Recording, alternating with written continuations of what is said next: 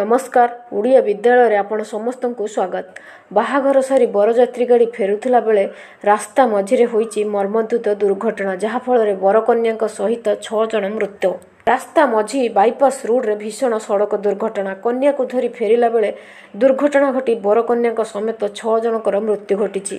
ବରକନ୍ୟା ଗାଡ଼ିଟି ବାହାଘର କାମ ସାରି ଫେରୁଥିଲା ବେଳେ ମର୍ମନ୍ତୁଦ ଦୁର୍ଘଟଣା ଘଟିଛି। ବାଇପାସ୍ ରୋଡ୍ରେ ଏକ ବରକନ୍ୟା ଗାଡ଼ି ଆସୁଥିଲା ବେଳେ ଆମ୍ବ ଭର୍ତ୍ତି ଡିସିଏମ୍ ଟ୍ୟାଙ୍କର ସାମ୍ନାସାମ୍ନି ଧକ୍କା ହୋଇଥିଲେ। ଏହି କାରରେ ଛଅ ଜଣ ଲୋକ ସବାର ଥିଲେ ଫଳରେ ଦୁର୍ଘଟଣାରେ ବର ସମେତ ପାଞ୍ଚ ଜଣ ଘଟଣାସ୍ଥଳରେ ମୃତ୍ୟୁ ହୋଇଥିଲା ବେଳେ କନ୍ୟାଙ୍କୁ ଗୁରୁତର ଅବସ୍ଥାରେ ମେଡିକାଲରେ ଭର୍ତ୍ତି କରାଯାଇଥିଲା। ହେଲେ ସେଠାରେ ସେ ଚିକିତ୍ସାଧୀନ ଅବସ୍ଥାରେ ଆଖି ବୁଜିଛନ୍ତି ତେବେ ଘଟଣାସ୍ଥଳରେ ଟ୍ୟାଙ୍କର ଚାଳକ ଫେରାର ହୋଇଯାଇଛି। ଘଟଣାଟି ଘଟିଛି ୟୁପି ରାମପୁରର ସିଭିଲ ଲାଇନ୍ସ ଥାନା ଅଞ୍ଚଳ ବାଇପାସ୍ ରୋଡ୍ରେ ଯେଉଁ ଭୀଷଣ ଦୁର୍ଘଟଣା ଘଟିଛି ଯାହାଫଳରେ କନ୍ୟା ଆଉ ବରକନ୍ୟାଙ୍କର ମୃତ୍ୟୁ ଘଟିଛି। ନିଶ୍ଚିତ ଭାବରେ ବହୁତ ଦୁଃଖଦ ଘଟଣା ଆମେ କହିପାରିବା।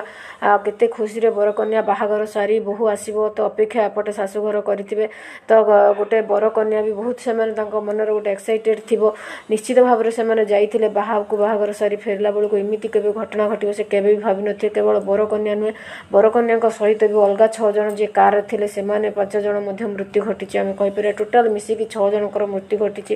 ନିଶ୍ଚିତ ଭାବରେ ବହୁତ ଦୁଃଖଦ ଘଟଣା। ତ ଏମିତି ବହୁତ ପ୍ରକାର ଆପଣ ଟାଇମ୍ରେ ଦେଖିଥିବେ ବାହାଘର ସମୟରେ ପ୍ରାୟତଃ ବହୁତ ଗାଡ଼ି ଏମିତି ଆକ୍ସିଡେଣ୍ଟ ହେଇଥାଏ ଯେଉଁଥିପାଇଁ ଏମିତି ବହୁତ କିଛି ଦେଖିବାକୁ ପଡ଼ିଥାଏ। କିନ୍ତୁ ବର୍ତ୍ତମାନ ସମୟରେ ଆମେ ଦେଖୁଛେ ବରକନ୍ୟା ଉଭୟଙ୍କର ମୃତ୍ୟୁ ହୋଇଛି। ତା ସହିତ ଅଲଗା ପରିବାର ଲୋକ ବି ଗାଡ଼ିରେ ଯିଏ ଥିଲେ ତାଙ୍କର ବି ମୃତ୍ୟୁ ଘଟିଛି।